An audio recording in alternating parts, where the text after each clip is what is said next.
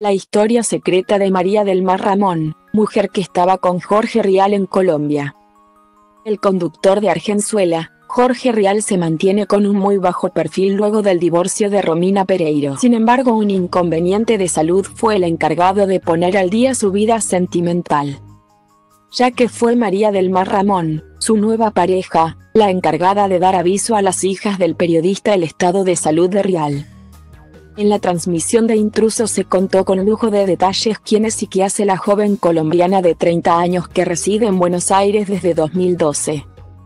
Al aire Marcela Tauro confirmó que el número desconocido desde el que les escribió Jorge Rial a sus hijas era el de la escritora quien luego les pidió que viajaran a Bogotá de urgencia porque Rial se encontraba en estado crítico.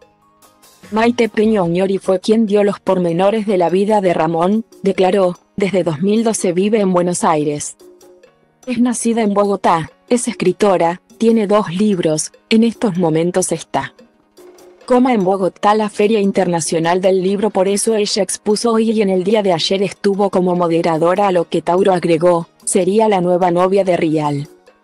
La panelita continuó, estarían teniendo una relación con Jorge, es muy feminista. Tiene una militancia muy importante en el feminismo, de hecho creó una ONG que se llama Red de Mujeres y un colectivo en Colombia que se llama Las Viejas Verdes. Concluyó diciendo, tenía ayer y hoy actividades vinculadas al evento por lo que no se encontraba acompañando al conductor. Comillas. Si bien se dijo en Intrusos que era escritora, Ramón publicó con la editorial Planeta. En el sitio web de la editorial se menciona que es columnista de Vice y que escribe en diversos medios latinoamericanos. Actualmente trabaja en radio y en el desarrollo de contenidos audiovisuales. Entre sus obras feministas se destacan La manada y Todo muere sobre el mar.